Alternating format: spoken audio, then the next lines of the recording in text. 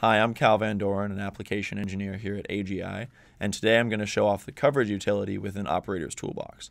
Now, coverage may be a feature within STK that a lot of you are already used to using, and one uh, or many of our users note that there's a lot of overhead analysis and setup time that goes into setting up a coverage definition. And that makes perfect sense, right? You have to set up your grid points, you have to set up your area of interest, you have to set up the uh, assets that you're going to use to cover that area. And then you also have to set up your figure of merit and what you want to pull out of your coverage definition. So this tool within Operator's Toolbox helps you optimize that workflow, helps you go through that workflow in a much shorter time. So to show that off with an STK, what I have here is a LEO imaging constellation, just a sample one. And then I have a, a whole set of, uh, of, of ground sites already modeled.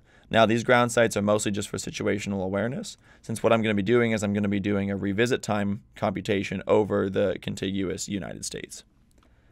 So I'll open up the coverage tool on the right side with an Operator's Toolbox. All I need to do is hit uh, the green plus sign for new coverage, and that brings up our coverage options. Now this allows you to configure a coverage definition in a matter of seconds when it might normally take you minutes to go through that workflow.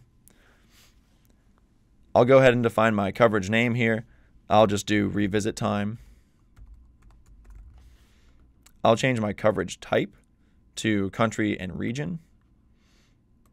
And I'm going to go ahead and select the United States. Again, you can define the point granularity here. I'll go ahead and just start with 2 degrees for simplicity. You can fully define the computation interval as you can in the normal coverage definition.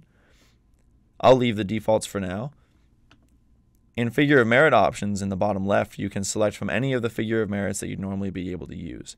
In this case, I'm interested in revisit time. So I'll select revisit time. And here you can select your contours, your start, stop, and step for the levels within your contours. And that'll fully be configured for you uh, by the tool. I'll go ahead and leave the defaults for now, but of course you could edit those. Then on the right side, under Assets, I'm going to select my Cameras constellation, which is a constellation of all of the optical imagers on my imaging satellites. Note that only constellations will show up here in your assets, and that's to force users into, into good practice here, as you always want to be using constellations for your assets and coverage definitions. Once I've selected cameras, I'll go ahead and cl click the green plus sign, and it'll go bold.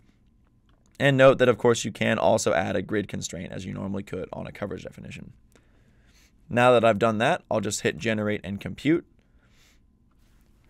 So now that I have a fully defined coverage definition within the coverage definition tool, I can go ahead on the left side and click on it, and then I can animate through my scenario, and I will see that my animation contours are working for revisit time just as they normally would if I took all the time to set this up normally.